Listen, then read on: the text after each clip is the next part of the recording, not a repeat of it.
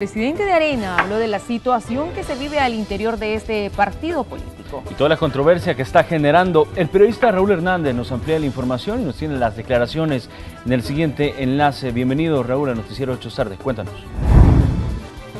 Efectivamente, muy buenas tardes. Conversamos con el presidente del Partido Arena, Mauricio Interiano, sobre los costos políticos de los problemas internos que está atravesando el principal partido de oposición, después de la salida de los diputados Juan Valiente y Johnny Roysol, quienes no buscarán la reelección con este partido político. Y es que de acuerdo a Mauricio Interiano, se encuentran evaluando la situación. Eh, esperamos que sean más de 80 mil personas las que participen y que vayan a votar eh, y eso es algo que, debemos poder resaltar. Pero sí nos preocupa que obviamente esta situación sea, sea desviada. Bueno, mediciones como tal, obviamente eso constantemente lo estamos viendo y sabemos de que esto puede ser un, un tema que nos puede afectar.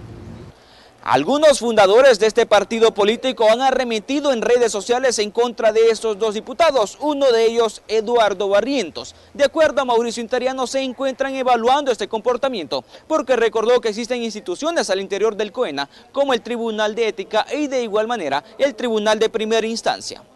Estamos evaluando porque sí, eh, en todo este proceso han habido actitudes que, que no han sido las correctas y es algo que estamos evaluando. De Primera Instancia, ¿qué se le podría explicar? Porque lo, has comentado en redes sociales y lo descalificativo que he utilizado contra de Johnny más que todo ha sido bien fuerte. Sí, esos son, como, como tú mencionabas, instancias y eso es lo que se está evaluando para ver qué, qué se va a hacer en esos casos. Mientras tanto, diputados de la Asamblea Legislativa también han hecho referencia a lo que está ocurriendo al interior del Partido Arena.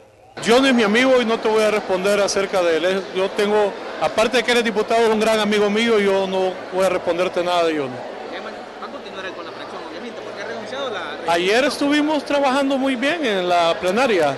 Todo, todo funcionó normal en la fracción.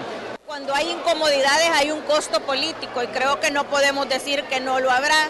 La ciudadanía tendrá que juzgar si creen que fue la decisión más pertinente o no. Así la información a esta hora de la tarde para los amigos televidentes de Noticiero Hechos. Estaremos ampliando en la emisión estelar. Pasen buenas